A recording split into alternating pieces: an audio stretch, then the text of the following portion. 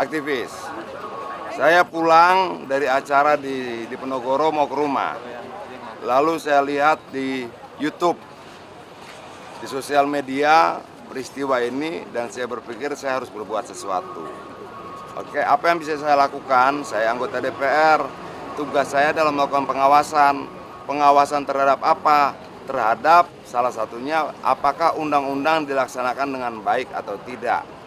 Undang-undang apa? Undang-undang apa saja, termasuk undang-undang KUHP, KUHAP, dan sebagainya.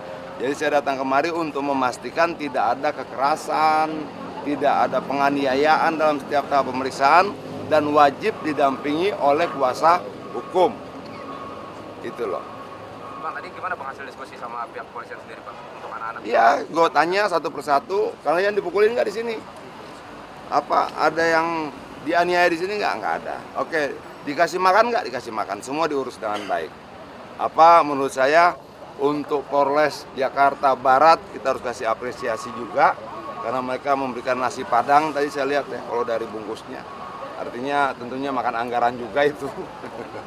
Puluhan orang ya bang? Eh, puluhan orang sampaikan salam hormat saya untuk Pak Kapolres ada beberapa yang di bawah umur pasalnya tentunya tidak bisa sama. Perilaku untuk yang di atas 17 tahun dan di bawah 17 tahun perilakunya tentu tidak sama. Karena hukum yang digunakan juga tidak sama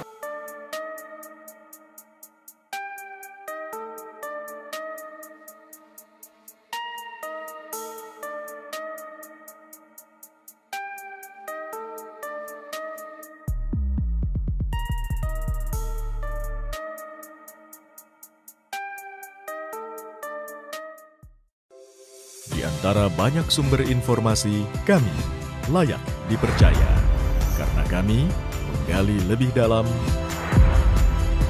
berpihak pada kebenaran, berpegang pada data dan fakta, agar layak Anda jadikan referensi. Kompas TV, independen, terpercaya.